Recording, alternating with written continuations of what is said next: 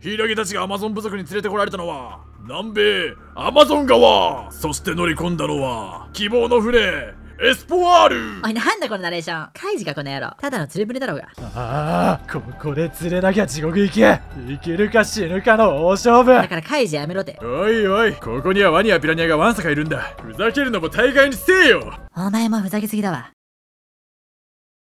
今日は荒れるぞえ、今日川荒れるんですか？間違いなく大荒れだよこの動画のコメント欄そっちかよコメント欄は荒れねえよ、バカタレ。このチャンネル結構コメント欄平和なんだよ。その幻想をぶち壊すぶち壊すな。あー、なかなか釣れないな。いや、お前動き早いや。今なんか変なのいた。えてか、釣れすぎだって。大物釣れたぜでかすぎ笑った。そいつはアナコンダだ早く糸を切れ食い殺されるぞあ、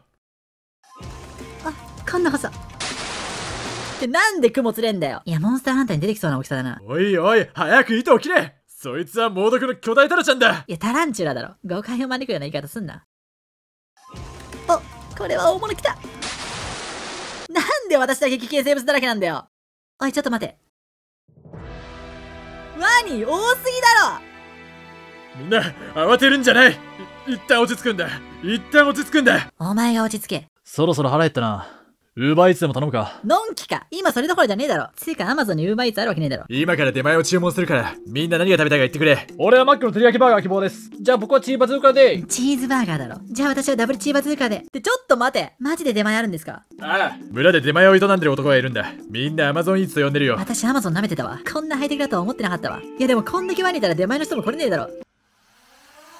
なんか飛んできた出前はドローン宅配なんだ何この最新技術マジでどういうこと？うちの村は科学が進んでるんだ日本にはまだないのかい？あるわけねえだろ。なんだ日本は遅れてるなここが進みすぎなんだよ。ドローン宅配やってる国まだ聞いたことねえわ。ワニたちまだ帰る気配ないな。ああ、私たちここでワニに食べられて死ぬのかな。